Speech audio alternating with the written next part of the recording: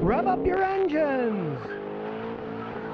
Kenneth K. says, Scotty, I really like my 2017 Chevy Cruze Premier RS. I've never had a problem throughout my ownership. Should I keep it? Thanks.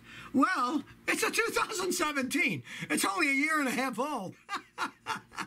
you better not have any problems. You might as well keep it because I'll tell you the truth. If you try selling that thing now, you'll see how much money you will lose. Uh, what you owe on it versus what it's worth. It would be foolish to sell it now. Maybe you got a good one that's going to last. I never advise anybody to buy it. And I got a customer, the one he's got a picture of Mickey Mouse in his back window because he sued him under the lemon law. And for some weird reason, they gave him back $3,000. And that was it. They wouldn't take the car back. So, you know, but if it's last, drive it around because you would lose your shirt if you sold it now. CK says, Scotty, I'm looking into buying a 2004 GMC Canyon with 216,000 miles from a mechanic. Should I buy it? Okay, well, it depends. If it was the mechanic's vehicle and he took care of it, not a bad idea. But if he's selling it for somebody else, you kind of think. Now, the Canyon was kind of a bizarre truck. Uh, they weren't that bad. I mean, look, that thing's got a lot of miles. It's still running. I just uh, wouldn't pay too much for it. It's a 15-year-old GMC pickup truck with 216,000 miles.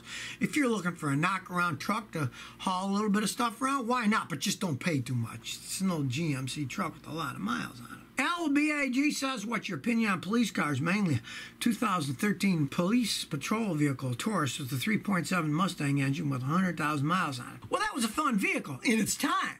But the thing is, if it was a police vehicle, generally they drive them like maniacs. And they can have the heck burned out of them. And you generally expect you're going to put an engine or a transmission in them in a short period of time. But if you are thinking about buying one used, do not touch it until you get a guy like me, a professional mechanic, and gonna check it out with his computer and road test it and tell you what kind of shape it's in. You want to start there if you do want to buy a vehicle like they can be fun to drive around, but of course don't pay much for it.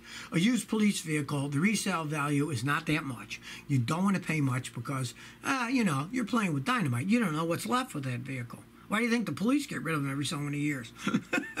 Alvaro Tejado Esteves says, Scotty, I got a 95 Volvo 940. When I start it up in the morning, it makes a metallic rattling sound when I rev it. It goes away for three, four minutes. The engine was rebuilt seven years ago. You know, what's really typical with those things is the catalytic converters rattle as they age. For some reason, they made them crappy. Inside your catalytic converter are these honeycomb pieces that have platinum in them, and that burns hydrocarbons. And as they age, especially on those vehicles, it cracks, and then they will rattle. But then when they heat up, the metal expands and they stop rattling. Check that first off. It runs okay. It doesn't hurt anything. And a new cat for that vehicle costs an awful lot of money. you might live with it if it is the cat rattling and it runs okay. When it doesn't run good, it will the temperature gauge will run hotter and you'll only be able to go like 55 miles an hour, not any faster, then you know it's clogged up and you'd have to replace it then. USS Storm says, Scotty, I have an 07 Honda Civic Electric Coupe with rear drum brakes. Should I upgrade them to disc brakes? Okay, here's the thing. The rear brakes on that car are one thing mainly. Most of the power is stopped at the front discs. The rear drums are there so the car doesn't fishtail when you stop hard and when you corner and stop. For normal driving, those work perfectly fine and you're not going to have any problems with them. It's kind of a waste of money putting it in a little car like that. It really doesn't need it. It's a light car and disc brakes for all four wheels are more for racing because they don't fade when you stop, go fast, stop, go fast, stop, go fast. Drums will actually stop a car just as fast one time. but in a race, they aren't. That's why they were first used in race cars because they're slamming them on, then hitting the gas, slamming them on, and hitting the gas. And the drum brakes was overheats where the discs wouldn't, and that's why they started using them. But on yours, ah, you really wouldn't want to spend money for that. My Concho says, Scotty, should I put fuel injection on my Dodge Dart 318 V8? Well, it's a good question, but depends on what do you want to do with the thing.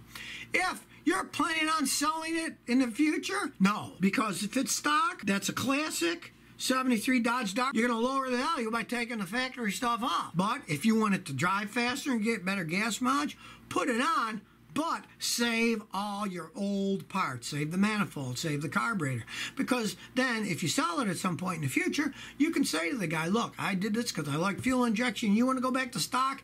Here's all the parts in the box. Keep them all. Don't throw any of them away. Always do that with a classic car. Never throw any old parts away. And if you want to modify it to your heart's content, you're going to keep it for years, go right ahead. Just keep the old parts. So if you never want to miss another one of my new car repair videos, remember to ring that bell.